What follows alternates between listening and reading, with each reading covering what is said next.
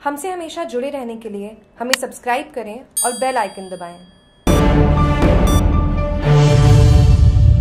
थार नगरी बाड़मेर बाड़मेर जिला मुख्यालय रसोई सर्दी के मौसम में आमजन के लिए हल्दी की सब्ज़ी, बाजरे का सोगरा की रोटी काशी वासियों ने लुफ्त उठाया। सरकार की ओर से, राजस्थान सरकार की ओर से एक दिन पहले इंदिरा रसोई चलाई जा रही। नए साल को लेकर इंदिरा रसोई हल्दी व सोगरा के साथ खाना खाते नज़र आए बाड़मेर नगर परिषद के सभापति दीपक माली ने बताया इंदिरा रसोई घर में आज बाजरे का सोगरा, हल्दी की सब्ज़ी बनाने के साथ लोगों ने भीड़ उमड़ पड़ी। इंदिरा रसोई व्यवस्थापक श्रवण गौड़ ने राजस्थान सरकार की योजना के साथ बाड़मेर सभापति नगर परिषद की निर्देश पालना करते आज इंदिरा रसोई मन शहरी वासी व ग्रामीणों ने हल्दी व बाजरा सोगरा लुफ्त उठाया। जागरूक टीवी के संवाददाता से बात करते हुए श्रवण गौड़, इन्होंने ये कहा।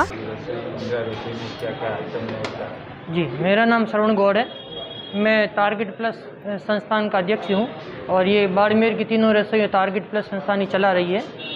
और हमेशा की भांति हर सात दिन बाद हमेशा स्पेशल डाइट रहती है। और आज स्पेशल डाइट में हाँ खर्चा तो बहुत अधिक लगता है। मगर आज हमने स्पेशल डाइट में अपने बाड़मेर की ग्रामीण देसी हल्दी और बाजरे की रोटी रखी है।